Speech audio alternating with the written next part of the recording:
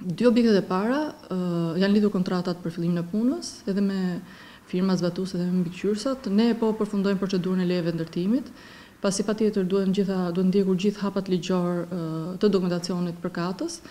Dhe do të fillojë puna në objektin pas policisë dhe në bulevardin e Durrësit.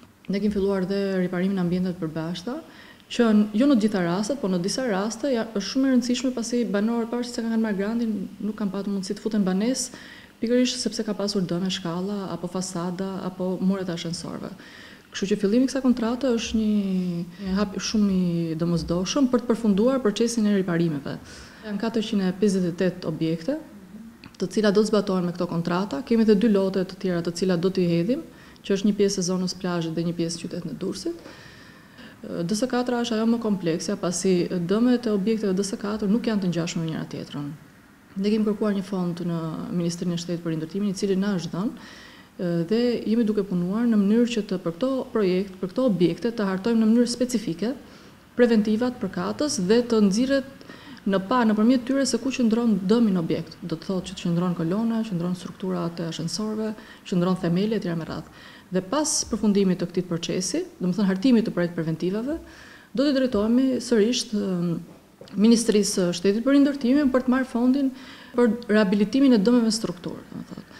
Ne gjithashtu kemi bërë dhe vlerësimin e dosjeve të aplikantëve Nuk e kemi miratuar ende në Këshill Bashkiak, pasi po shqyrtojmë mënyrën se si do të se si do të ndihmohen këto familje, se si do të rimbursohen nga shteti, pasi dhënia në kesh e DS katrës nuk është fizibël, por po shohim një mundësi që këto të lidhen bashkë me një procedurë për me ambjente të përbashkëta apo të shohim ne zgjidhjen që do të gjejmë. Ne kemi miratuar në Këshill Bashkiak nëntëqind e katër banesa nga që do të ndërtohen nga e para Puna ka filluar me pesëqind e tridhjetë e shtatë banesat e para, në njësitë administrative Ishëm dhe Manëz. Këto kanë më shumë, kanë pasur dëmin më të madh në në këtë specifik, në banesat individuale dhe puna ka filluar me to.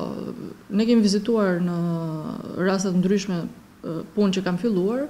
Shpresojmë që brenda katër ose pesë muajve këto banesa do të jenë drejt fundit të tyre.